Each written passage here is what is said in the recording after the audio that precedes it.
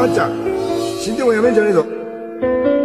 夢は捨てたと言わないで。オードリーのオールナイトニッポン。他に道なき二人なのに。死んでもやめんじゃねえぞ。夢は捨てさあ、たと参りましょう。えー、東京都ラジオネーム電柱神話。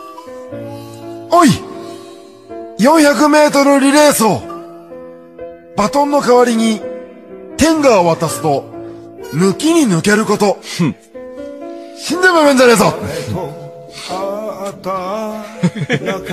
抜きに抜けることってこと両方の意味でだね。えー、東京都ラジオネーム電柱神話。おい歌舞伎役者客席から、よアナルヤと、塩を浴びせられること。死んでもやめんじゃねえぞつまみ出されるよ、そんなこと言ったら。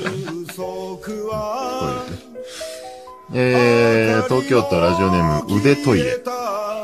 おいペットボトルチンコを入れるには狭いが、乳首を入れるには広すぎること。死んでもやめんじゃねえぞそれ用に作られてないやね。飲みやすいサイズに作られてるから。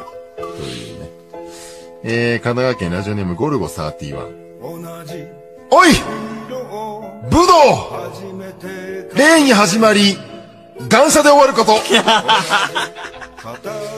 死んでもやめんじゃねえぞ全国の武道家に怒鳴られるぞ、こんなの。というね。えー、千葉県ラジオネームエリンギ。おいバスガイド正面に見えますのは、最近、アナル攻めに目覚めたやりまんでございます。と言いながら、全裸で自己紹介を始めること。